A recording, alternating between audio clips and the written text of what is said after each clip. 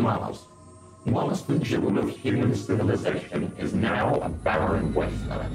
The planet's surface is scarred by centuries of conflict and neglect, but beneath the red silence lies a secret that can change the course of the galaxy.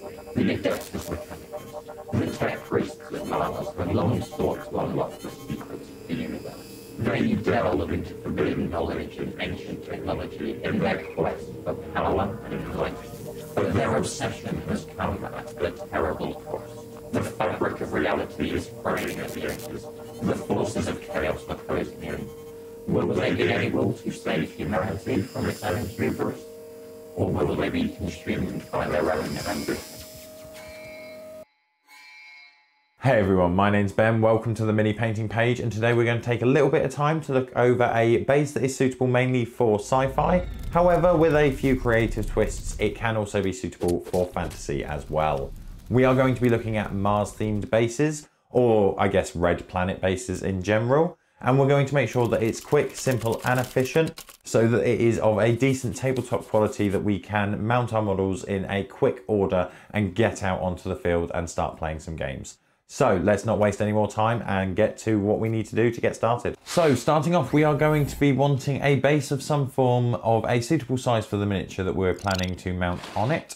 Some form of rock, this could be cork, but here I'm actually going to be using slate for a flatter profile of the base.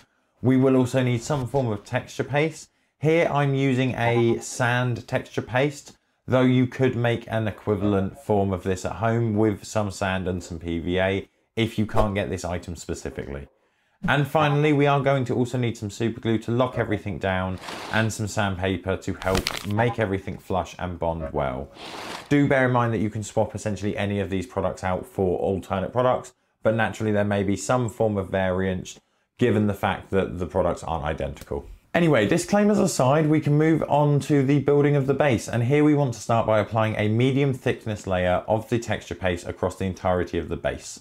This should help to make sure that the texture is consistent across the whole base itself and we won't have any large or small areas that don't match the overall sandy texture that we're going for.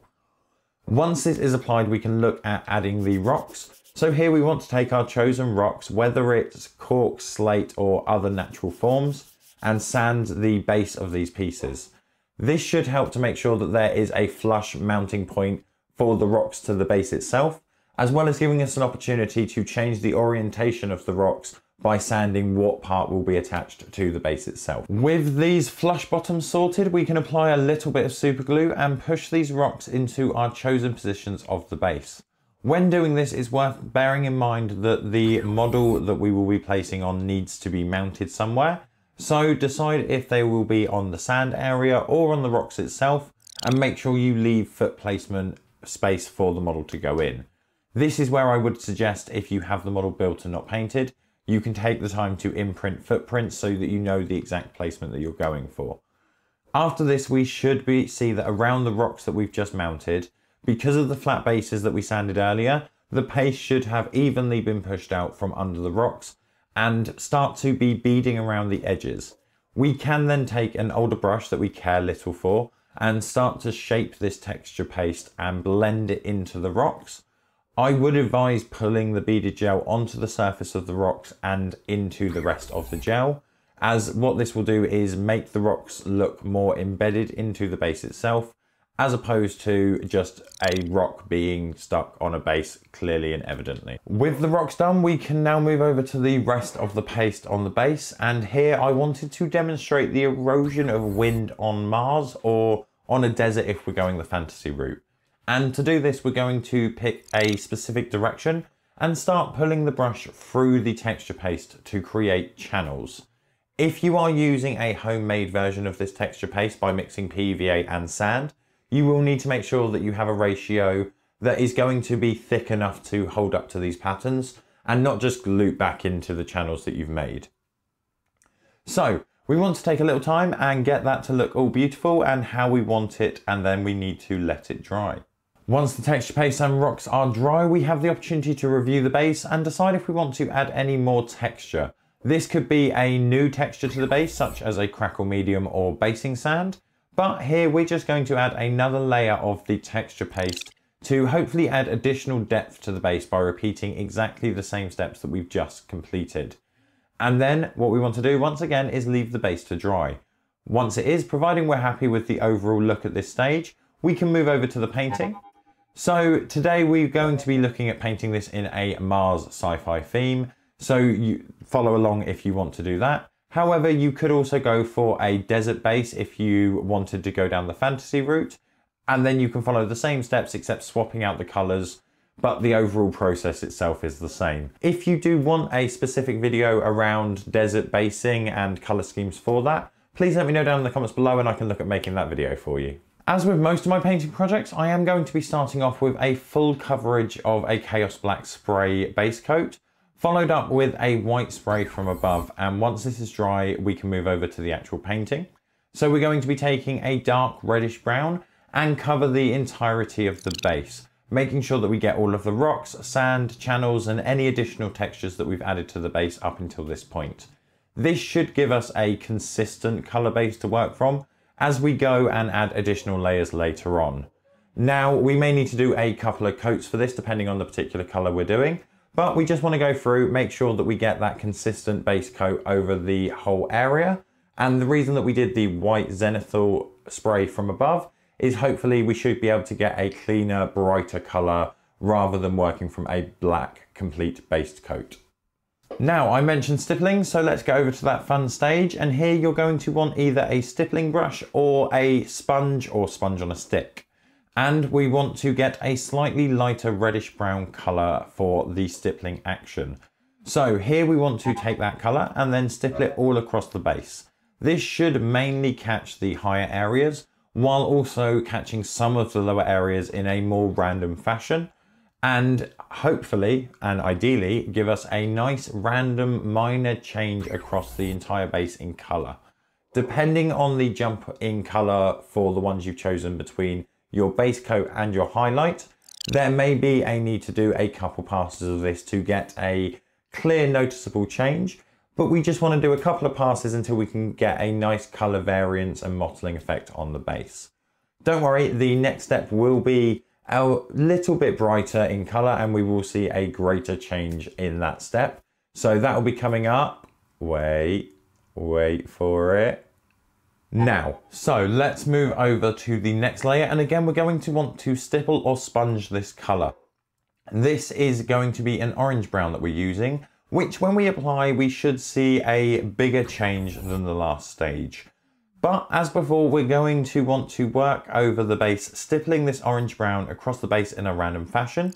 Once dry, we should see a nice variance of color across the entirety of the base, from the original brown color we've used as a base up to this brightest orange. With this achieved, we can go on and take a light cream or a pale flesh tone and start to dry brush this across the entirety of the base, catching the highest raised areas of the rocks and the texture paste. And by doing this, we should see the full array of textures across the base that we've spent our time creating up until this point. Okay, so cards on the table. This next step may not be 100% essential. I gave it a go and it was more of a theory test and the intention behind it was to push the base more to a brighter orange, the more stereotypical color that you see on a base without making it just a riser rust orangey color overall. So bear that in mind, but if you are happy with the base that you've got at this stage, just completely avoid this and skip this step However, if you like how it looks afterwards and you think it's worth a try, feel free to follow along. To do this, what we're going to want to do is take a orange ink or orange wash color and then mix in a brighter orange tone to push that contrast on the base. What we want to do is mix them together so that we do get a relatively thin wash-like consistency out of this paint. In theory, you could also use something like contrast paint, just make sure you put on a thick enough coat so it doesn't dry before we go back to mopping it up, which we'll touch on in a moment. So we want to make sure that we get an entire coverage over the whole base in a nice thick coat. Then once we've done that, we can clean off our brush and come back and start to mop up all of the wet areas and overly saturated areas on the base. This means that we do get to control the overall tone on the base and where this is. Essentially what we're doing is painting in reverse so wherever we're mopping up paint from, there's going to be less color in that area. However, the intention is that the overall tone will still be slightly marred by this wash. It will just be a not deep color compared to the areas you don't pull as much wash from. So that's the theory behind it. As I said, feel free to try it if you want to. Once this is done and we're happy with the overall placement and the puddles essentially and pulling off the paint from where we don't want it, we can move over to the next step, which is going to be a mix of flesh tone with the brighter orange paint that we mixed in from a moment ago.